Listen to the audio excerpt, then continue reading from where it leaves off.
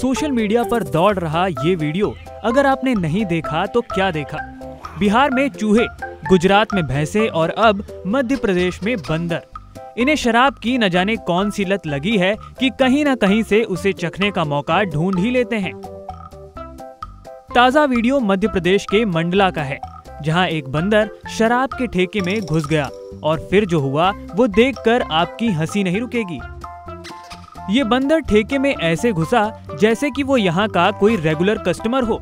ठेके में घुसते ही बंदर ने फटाक से बोतल उठाई और गटागट उसे पीने लगा।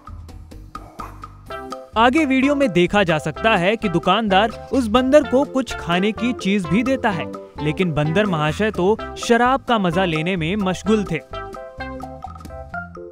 ऐसा लग रहा था कि मानो बंदर काफ़ी समय से गम का मारा हुआ है। और आज अपना सारा स्ट्रेस रिलीज़ करके ही मानेगा।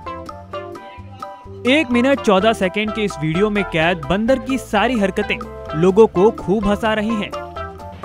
लोग इस वीडियो को खूब पसंद कर रहे हैं। आपको बताते चलें कि ऐसा पहली बार नहीं है कि किसी जानवर के शराब पीने की खबरें सामने आई हों। इससे पहले बिहार में चूहों द्वारा भी शराब गटकने की खबरें सामने आई थी। इसके अलावा गुजरात के गांधीनगर से भी भैंसों द्वारा शराब पीने का मामला सामने आया था। लेकिन ये बंदर इन सबसे एक कदम आगे निकल गया और अब इसका ये वीडियो सोशल मीडिया पर खूब पसंद किया जा रहा है। Bureau report, Zee media.